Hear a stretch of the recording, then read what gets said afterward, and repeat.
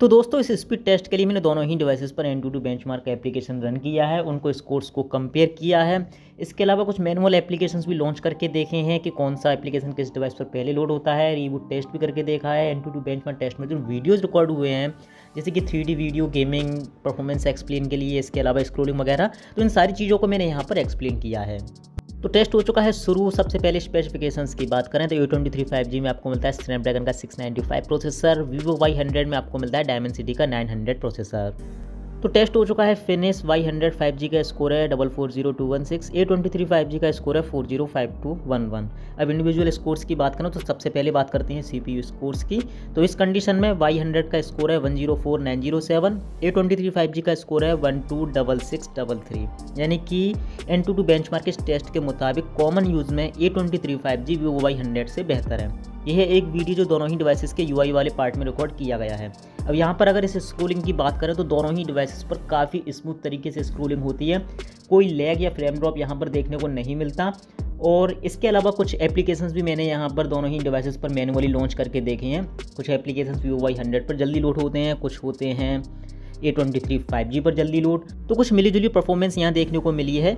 केवल स्कोर्स के आधार पर हम ये नहीं कह सकते कि A twenty three five G पूरी तरह से वाई हंड्रेड को कॉमन यूज़ में बीट करता है। जैसे कि ये एक रिवूट टेस्ट है, जब मैंने दोनों ही डिवाइसेस को सेम टाइम पर रिवूट किया तो वीवो वाई हंड्रेड जल्दी रिवूट हो गया या जल्दी रीस्टार्ट हो गया as compare to A twenty three five G तो कॉमन यूज़ में दोनों ही डिवाइसेस काफ़ी कमाल के हैं। कोई इशू आपको देखने को नहीं मिलेगा। दोनों में से कोई भी डिवाइस आपको कॉमन यूज़ में निराश नहीं करेगा और इसके लिए यहाँ कन्फ्यूज़ होने की कोई ज़रूरत नहीं है।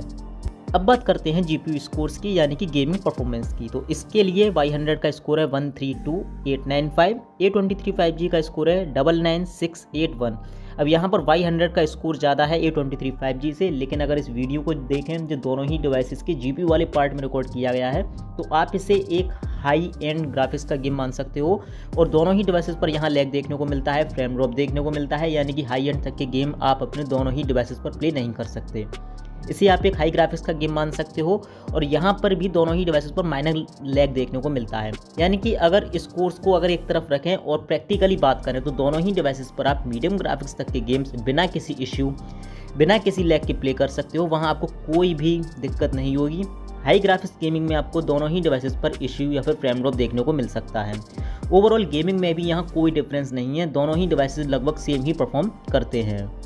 अब बात करते हैं मेमोरी स्कोर्स की, यानी कि रैम एंड रोम स्कोर्स की। तो वाई हंड्रेड का स्कोर है nine one two double six A twenty three five G का स्कोर है six eight four nine six यहाँ भी वाई हंड्रेड का स्कोर ज़्यादा है A twenty three five G से।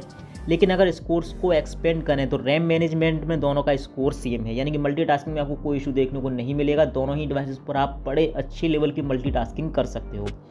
वाई हंड्रेड की read and write speed A twenty three five G से ज़्यादा है। यानी कि अगर आप कॉपी पेस्ट करते हो तो उस कंडीशन में वाई हंड्रेड आपको बेहतर परफॉर्मेंस दे देगा as compare to A twenty three five G तो दोस्तों, यही था मेरा A twenty three five G और वीवो वाई हंड्रेड के बीच एक स्पीड टेस्ट अब यहाँ पर कंफ्यूज होने की ज़रूरत नहीं है। अगर हार्डवेयर की वजह से आप इन दोनों डिवाइसेस में कंफ्यूज हो तो दोनों ही डिवाइसेस पर लगभग सेम ही परफॉर्मेंस देखने को मिलती है। कॉमन यूज़ के लिए भी गेमिंग के लिए भी और मल्टीटास्किंग के लिए भी। एन टू टू बेंच के स्कोर्स मैंने दिखा दी जो प्रैक्टिकली चीज़ें थी, वो मैंने आपको यहाँ करके दिखा दी। आपके सोचते हैं दोनों ही डिवाइसेस के बारे में? प्लीज़ कमेंट सेक्शन बताना ना भूलें। तो दोस्तों, मुझे अपनी वीडियो आपको पसंद आया होगा तो प्लीज़ वीडियो को लाइक चैनल को सब्सक्राइब मेरा नाम है धर्मेश, फिर मिलते हैं अगले वीडियो में। तब तक के लिए गुड बाय आपका दिन शुभ हो।